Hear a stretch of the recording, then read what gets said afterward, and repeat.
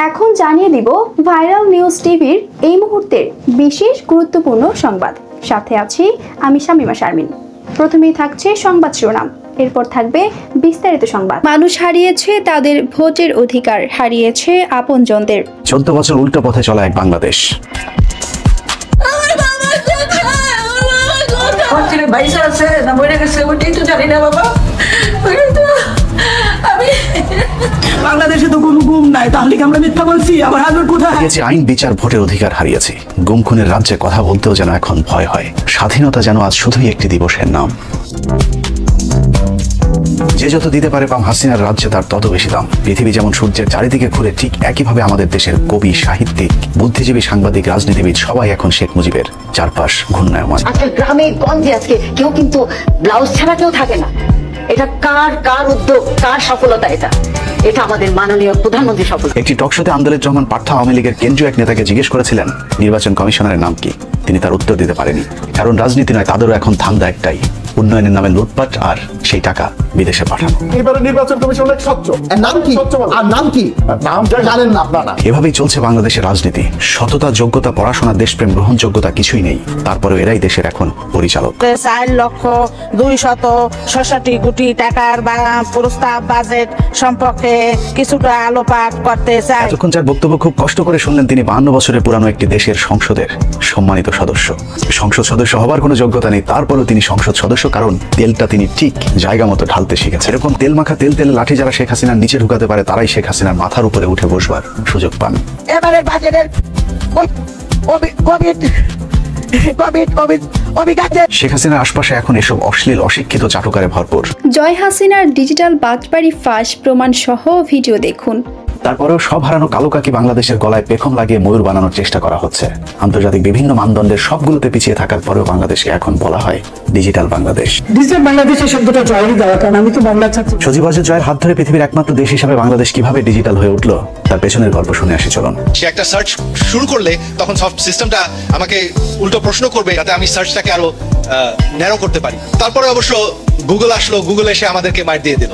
তো আমার প্রথম স্টার্ট আপটা মার খেয়ে গেল। সজীব অজের জয়। পৃথিবীর একমাত্র বিজ্ঞানী যার কোনো আবিষ্কার নেই। নেই কোনো প্রতিষ্ঠানের গবেষণায় যুক্ত থাকার অভিজ্ঞতা, তারপরেও বাড়তে বাড়তে তার বেতন এখন প্রতি মাসে দাঁড়িয়েছে তিন কোটি পঁচিশ লাখ টাকা। যে বেতন তিনি যুক্তরাষ্ট্রের ভার্জিনিয়াতে বসেই পাচ্ছেন, সেই সাথে জুনায়দ আহমেদ পলকে ডিজিটাল মন্ত্রণালয়ের মাধ্যমে চলছে ডিজিটাল টাকা পাচারের মহা উৎসব। প্রকল্প মানেই টাকা টাকা ছোট একটি দশ হাজার টাকার অ্যাপ বানিয়ে দিত এখন তারা হাতিয়ে নিচ্ছেন নব্বই কোটি টাকা। এক বছরের মধ্যে আমরা সাড়ে হাজার ইউনিয়ন তথ্য কেন্দ্র বানিয়েছি। এভাবেই সাড়ে হাজার হাজার তথ্য কেন্দ্র বানিয়ে বাংলাদেশকে টালমাটাল এক ডিজিটাল দেশে রূপান্তরিত করে যাচ্ছে। গুগলের আগে সার্চ ইঞ্জিন বানানো বিজ্ঞানী সজীব অজয় জয় আর অ্যাপলের আগে আইফোন বানানো বিজ্ঞানী হজরত শেখ হাসিনা। আজকে আপনাদের সকলের হাতে মোবাইল ফোন এই মোবাইল ফোন কে দিয়েছে? আওয়ামী লীগ সরকার দিয়েছে। এরকম মাতলামুর উত্তর না দিলেও চলবে কারণ শেখ হাসিনা সবার হাতে হাতে ফোন দিয়েছে এটা ইতিহাসের জঘন্যতম আওয়ামী মিথ্যাচার। ক্ষমতা আর টাকা ইনকামের পথ হিসেবে অনেকেই আজ এই ফেসিস্ট সরকারের সাথে হাত মিলিয়েছে। ডাবল সেঞ্চুরি করে ফাইটটা যাওয়া শিল্পী আজ গান আর কোরআনের ব্যাখ্যায় সমান তালে সংসদ মাতিয়ে রেখেছেন যিনি একসময় অশ্লীল গান আর কথায় গ্রামের অশিক্ষিত এক শ্রেণির মানুষকে মনোরঞ্জন করতেন। এরকম হাস্যকর বক্তব্যে সবাই হাসলেও যার বিশেষ অঙ্গে তেল ঢালছেন তিনি কিন্তু রঙেই আছেন।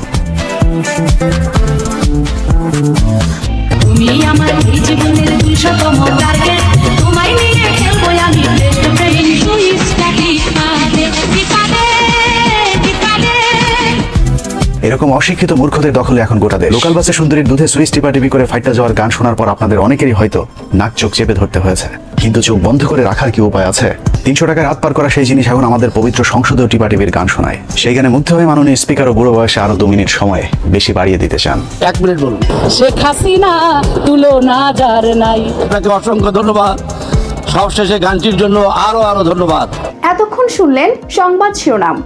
এখন জানিয়ে দিব বিস্তারিত সংবাদ। যারা শুধু নিজেদের স্বার্থের জন্য অন্যায়কে ন্যায় বলে প্রতিষ্ঠা করছে, কথা বলার অধিকার হারিয়ে ফেলেছে এদেশের মানুষ। রাষ্ট্রীয় প্রতিষ্ঠানগুলো আজ ধ্বংসের মুখে নির্বাচন কমিশন এখন, আওয়ামী লীগের দলীয় কার্যালয় মাত্র। এখান থেকে দিনের ভোট রাতে করার পরিকল্পনা বাস্তবায়ন করা হয়। রাতে বাক্স কীভাবে ভর্তি করা যায় এই প্রক্রিয়া শুরু করতে চিন্তা করতে হবে। দুর্নীতি দমন কমিশন এখন দেশের প্রধান বিরোধী দলকে দমন করার দায়িত্ব ঘাড়ে তুলে নিয়েছে। তাদের প্রতি আমাদের শ্রদ্ধা। এই এই এই শ্রদ্ধা ধারা সতত। বাংলাদেশের এই যাবৎকালের সবচেয়ে চরিত্রহীন বেয়াদব ঘুষখোর মাতাল অবৈধ সম্পদের মালিক এখন ইতিহাসের সবচেয়ে প্রভাবশালী পুলিশ প্রধান যাকে পশ্চিমা বিশ্ব এরই মধ্যে নিষিদ্ধ ঘোষণা করেছে। কথিত বিটিআর বিদ্রোহের নামে বাংলাদেশ সেনাবাহিনীকে ধ্বংস করে দেওয়া হয়েছে দুহাজার নয় সালে ক্ষমতায় আসার পরপরই। সেনাবাহিনীর ইতিহাসে কুখ্যাত সন্ত্রাসী পরিবারের সদস্য জেনারেল আজিজের মতো একজন কর্মকর্তা সেনাপ্রধানের চেয়ারে বসে ওই চেয়ারকে কলঙ্কিত করেছিল এরকম একটি চক্রের হাতি বাংলাদেশ সেনাবাহিনী দীর্ঘদিন ধরে বন্দী রয়েছে।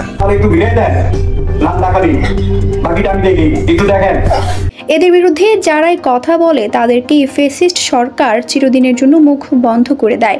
একই অবস্থা বিজিবির। সীমান্তে এখন বিজিবির কাজ শুধু সীমান্তে ভারতীয় বাহিনীর হাতে গুলিবিদ্ধ বাঙালিদের। লাশ নিয়ে আসা। যুগে ব্যতিক্রম শুধু একটি ঘটনা। প্রাচীর পবা সীমান্ত দিয়ে বাংলাদেশের ভেতরে ঢুকে পদ্মা নদী থেকে পাঁচ জেলেকে ধরে নিয়ে গেছে ভারতীয় সীমান্ত রক্ষী বাহিনী বিএসএফ। সীমান্তে বাংলাদেশি পাঁচ জেলেকে বিএসএফ এর সদস্যরা ধরে নিয়ে যেতে চাইলে বিজিবির সাথে গোলাগুলিতে বিএসএফ এর সদস্য নিহত হন। স্বামীর লোককে মারার কারণে স্ত্রীর নির্দেশে বিজিবি রাজশাহী ব্যাটালিয়নের সাহসী অধিনায়ক ফেরদৌস জিয়াউদ্দিন মাহমুদকে উল্টো। শাস্তি দেওয়া হয়। আমার ডেকে নিয়ে এসে কাছে আনার পর গুলি করে তাদেরকে মেরে ফেলো মানে আমি এটা বলেছি, আমাদের লোকজন কেউ ড্রাঙ্ক না, আমার নাম জাতিগতভাবে আমরা মদ্যপ হই না। সাবরিনাদের মতো চোরদের আদালতে নিতে হাত করা লাগে না, অথচ একজন সম্মানিত আলেমকে নির্যাতন করে হুইল চেয়ারে বসানোর পরেও তার হাতে হাত করা বসিয়ে আদালতে তোলা হয়। তেলবাজার আত্মীয়করণের রাজ্যে সম্মানিত মানুষের কোনো জায়গা নেই। সারা পৃথিবীর কাছে সম্মানের পাত্র ডক্টর মোহাম্মদ ইউনুসের দেশে জায়গা হয়নি। মিথ্যার কঠিন প্রাচীরের সামনে দাঁড়িয়ে সত্য বলা সাহসী সাংবাদিক মাহমুদুর রহমানকে নির্যাতন করে দেশ ছাড়তে বাধ্য করা হয়েছে। চরম অবিচারের রাজ্যে যিনি মানুষকে ন্যায় বিচার পাইয়ে দিতেন সেই বিচারক মোতাহার হোসেনকে দেশে দেশে ঘুরতে হচ্ছে নিজের জীবন বাঁচাতে। হাজার মাইল দূরে আমাকে নির্বাসিত জীবনযাপন করতে হচ্ছে। কারণ একটাই সরকারের নির্যাতন। জালিয়াতি যেন এই সরকারের নিত্যকার কর্ম। তবে বাংলাদেশে এখন সবার হাতে হাতে ফোন, এটা কিন্তু মিথ্যা নয়। কিন্তু সেই সুযোগ কে করে দিয়েছে সেটা জানা জরুরি।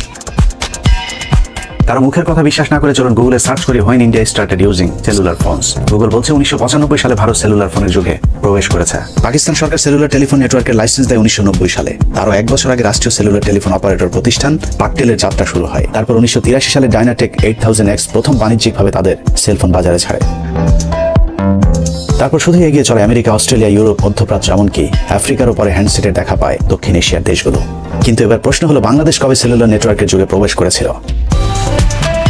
সেটা জানতে চলুন, আবারও হইন বাংলাদেশে স্টার্টেড ইউজিং সেলুলার ফোনস লিখে সার্চ করি গুগলে। গুগলের তথ্যানুযায়ী উনিশশো পঁচানব্বই সালে বিএনপি সরকারের সময় বাংলাদেশ সেলুলার নেটওয়ার্কের যুগে প্রবেশ করে। তার পরের বছর অর্থাৎ উনিশশো ছিয়ানব্বই সালে গ্রামীণ ফোন লাইসেন্স পায়।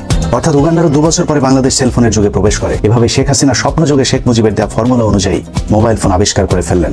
ভিক্ষুককে খাবার দিতে গেলে তারা মোবাইল ফোনে মেনু জিজ্ঞাসা করে, এই ফোনটা দিয়েছে আমি তো দিয়েছি। ইন্টারনেট আর সেলফোন বাংলাদেশে কীভাবে এলো আর কারা আবিষ্কার করল তা নিয়ে আলোচনা না করলেও চলবে। কারণ পৃথিবীর এমন কোনো দেশ নেই যেখানে এখন ফোন কিংবা ইন্টারনেট নেই। আলোচনার বিষয় হতে পারে মোবাইল এবং ইন্টারনেটের সেবার মান কোন দেশে কতটা উন্নত তা নিয়ে। বাস্তব পরিস্থিতি হলো মোবাইলে ইন্টারনেটের গতিতে একশো আটত্রিশটি দেশের মধ্যে বাংলাদেশের অবস্থান একশো তেত্রিশতম। মানুষের খারাপ শোনালেও সত্যি পৃথিবীতে এই মুহূর্তে ইন্টারনেটের সেবার মানের দিক থেকে বাংলাদেশের চেয়ে খারাপ দেশ আছে শুধুমাত্র দু থেকে তিনটি। অক্সফোর্ড খ্যাত ঢাকা বিশ্ববিদ্যালয়ের মতো প্রতিষ্ঠানের গর্ব আজ শুধুই দশ টাকার চা আর সমচা।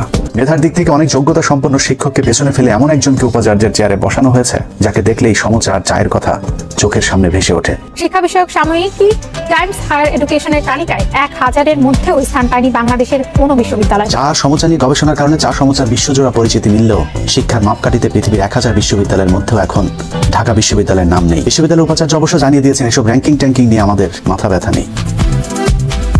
সবখানে আজ অযোগ্য বদমাইশদের উপরের চেয়ারে বসানো হয়েছে।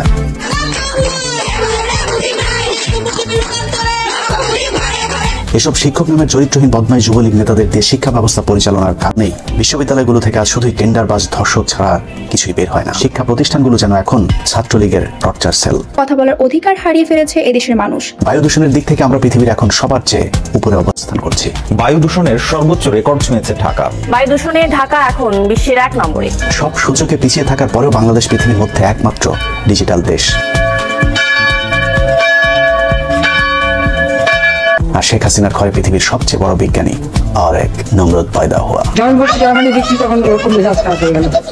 ও ঘুরে যখন চলে যাওয়ার সময় বলছে, আর এক নম্রত পয়দা হওয়া।